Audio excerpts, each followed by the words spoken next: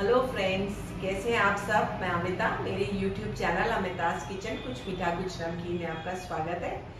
जैसा फ्रेंड्स आप लोगों को पता है, दिवाली जल्दी ही आने वाली है तो मैंने कहा कुछ ऐसी रेसिपीज़ शेयर करूँ जो उन दिनों आप बनाएँ ट्राई करें। तो इसी सीरीज़ में मैं आज आपके लिए लेके आई हूँ वेजिटेबल जेलफ्रीजी की रेसिपी क्योंकि उन दिनों हमारे यहाँ दिन रात हर टाइम अच्छा खाना बनता है तो इसीलिए मैंने कहा, चलिए ऐसी रेसिपी शेयर करती हूँ आपके साथ। तो चलिए, अब हम वेजिटेबल जेल फ्रेजी बनाना शुरू करते हैं। वेजिटेबल जेल फ्रेजी बनाने के लिए सबसे पहले हम एक पैन लेंगे, उसमें हम one tablespoon around butter डाल देंगे। बटर डाल देंगे और साथ में थोड़ा सा अराउंड वन टीस्पून का अराउंड रिफाइंड डाल देंगे। इसलिए रिफाइंड डालते हैं बटर के साथ कि बटर जले नहीं। इसको थोड़ा सा हम मेल्ट कर लेते अब देखिए बटर मेल्ट हो गया है। इसके बाद हम देखिए ये एक प्याज मैंने मोटा मोटा काटा हुआ है। इस टाइप से इसको डाल के सॉटे कर लेंगे ज़रा सा उसके बाद हम डाल देंगे इसमें अराउंड वन कप कैरेट या एक बड़ी कैरेट डाल लेंगे दस बारह बीन्स देखिए शेप आप कैसी काटना चाहते हैं इट्स अप टू यू आप जैसी भी काटे, लंबा काटे, छोटा काटे तो इस तरीके से हम ये डाल देंगे। और इसको हमने हाई फ्लेम पे इसको स्टेट फ्राई करेंगे। हाई फ्लेम पे करना है एक मिनट के लिए पहले इन वेजीज को कर लेंगे हम।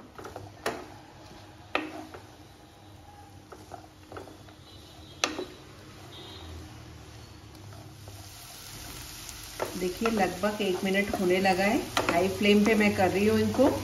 स्टेट फ्राई देखिए वेजिटेबल्स इसमें हमने रखनी है क्रंची इनको गलाना बिल्कुल नहीं है। क्योंकि इन वेजिटेबल्स को थोड़ा सा टाइम लगता है और वेजिटेबल्स के अलावा तो इसलिए इनको हम थोड़ा सा ज़्यादा कर इसके बाद आप इसमें डालेंगे हाफ़ कप मटर। अगर आप फ्रेश मटर यूज़ कर रहे हैं तो आप कच्चे डाल सकते हैं, पर ये मैं पैकेट वाले यूज़ कर रही हूँ तो मैंने इनको एक विसल दिलवा ली थी, क्योंकि ये वाले मटर जल्दी गलते नहीं हैं। आपने देखा होगा वेजिटेबल जेल फ्रेजी खाई होगी तो आपने देखा होगा उसमें वेजिटेबल्स काफ़ी क्रंची रहती हैं। उनका क्रंचीनेस हमें रखना है वेजिटेबल्स का। इसके बाद हम इसमें डाल देंगे ये चार से पाँच बेबी लिए हैं मैंने। इनको ये सब जो हम कर रहे हैं स्टे फ्राई हाई फ्लेम पे ही कर रहे हैं।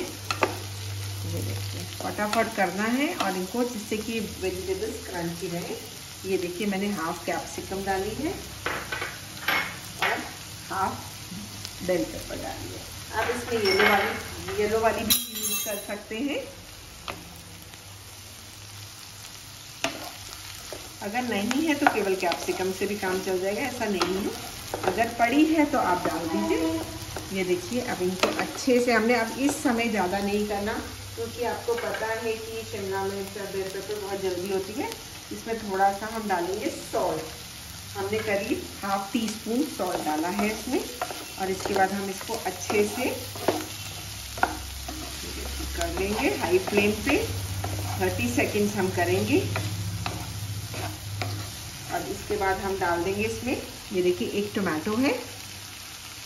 मीडियम साइज़ का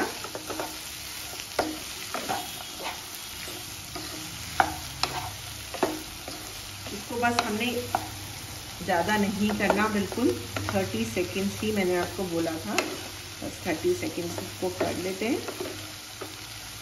देखिए 30 सेकेंड्स हो गए, हमारी वेजिटेबल्स अच्छे से हो गए स्टिर फ्राई अब हम इनको एक किसी प्लेट या किसी भी बर्तन में निकाल देते हैं और बाकी की जेल फ्रेजी आगे की बनाना स्टार्ट करते हैं।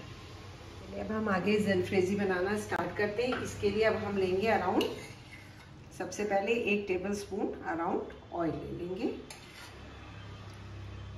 इसके बाद इसमें हम डालेंगे चार से पाँच गार्लिक क्लोव्स देखिए मैंने इसको काटा हुआ है। छोटा छोटा जिंजर जूलियंस लिए में। और एक ग्रीन चिली देखिए। और गार्लिक टोटली ऑप्शनल है। अगर आप गार्लिक नहीं खाते हैं तो कोई दिक्कत नहीं है। आप गार्लिक अवॉइड कर सकते हैं, कोई प्रॉब्लम नहीं है। इसको बस हल्का सा हम सौटे कर लेंगे। इसके बाद हमने डालना है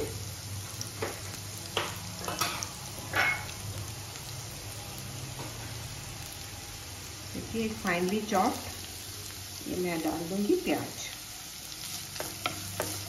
इसको हमने इसको अच्छे से फ्राई करना है। इसको हमने गोल्डन ब्राउन करना है क्योंकि तभी इसकी आ, सब अच्छी शक्ल आएगी वेजिटेबल की ये सेल्फ्रेजी की। अब हम इनको अच्छे से दो से तीन मिनट हमें आराम से लग जाएगा इसको फ्राई करने में।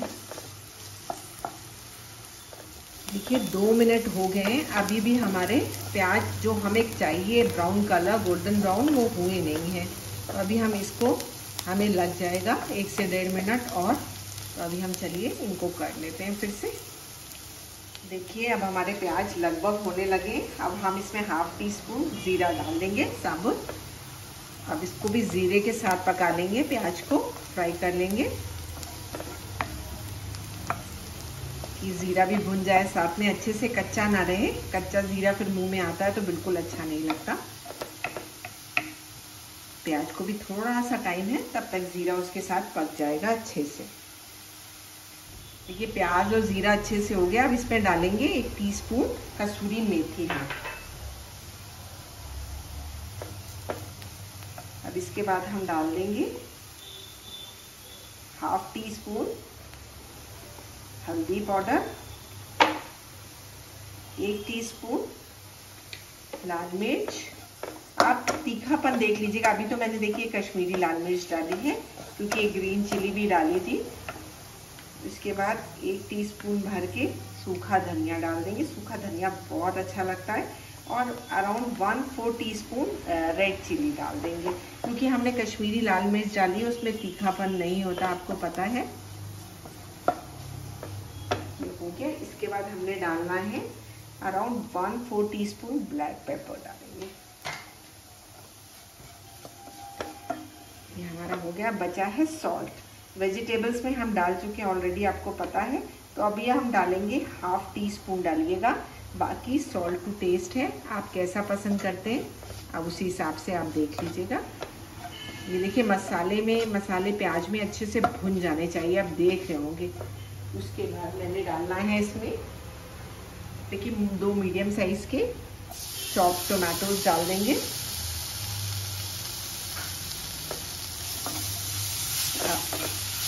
ये सब हम मीडियम या स्लो फ्लेम पे करेंगे, क्योंकि मसाले जब आप भून रहे हो, जब ब्राउन हो जाए प्याज उसके बाद हमेशा मीडियम या स्लो फ्लेम पे कर लीजिए, क्योंकि जब एकदम से भुनने लगता है लास्ट स्टेज पे होता है प्याज तो एकदम से जल जाएगा। आप धीरे ही रखिए तो वो बेटर है। ये हो गया। अब हमने इसको प्याज टमाटर इतना पकाना है कि टमाटर इसमें गल जाए अच्छे से। इसको अब हमें एक मिनट अच्छे से इसको सोटे कर लेते हैं। देखिए, टमाटर अच्छे से गल गए आपको दिख रहा होगा। इसके बाद हम इसमें डाल देंगे दो टेबलस्पून टोमेटो केचप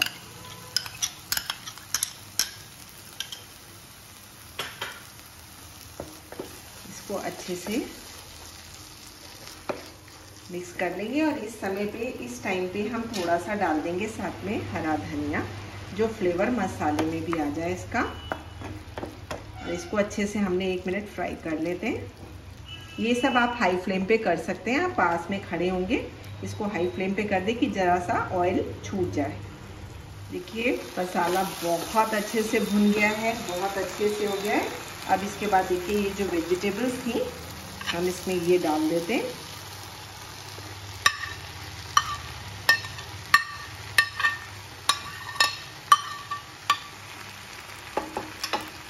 इसके बाद स्लो फ्लेम पे करके इसको अच्छे से मिक्स कर लेंगे वेजिटेबल्स को।